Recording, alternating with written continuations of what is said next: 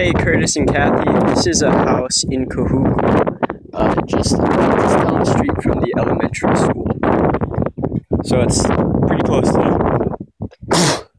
Ooh, excuse me. Pretty close to where we were.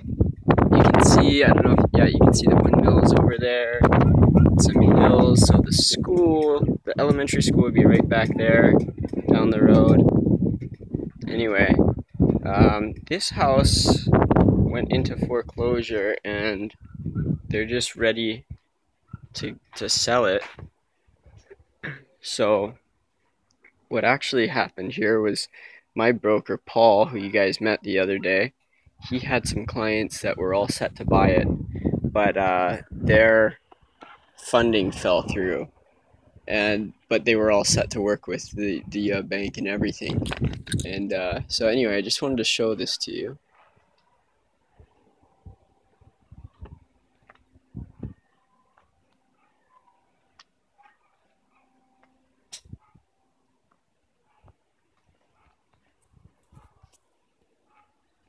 Decent decent little property here.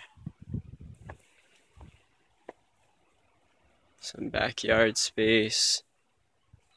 Um,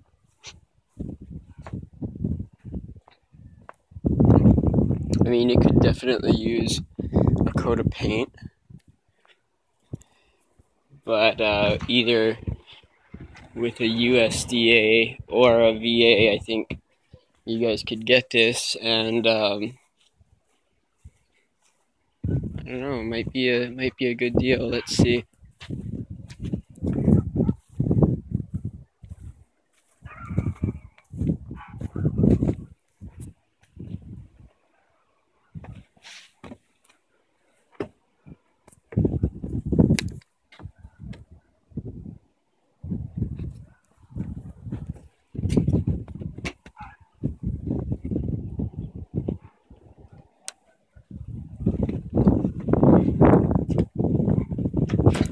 Anyway, it looks like that's about all that we're gonna see.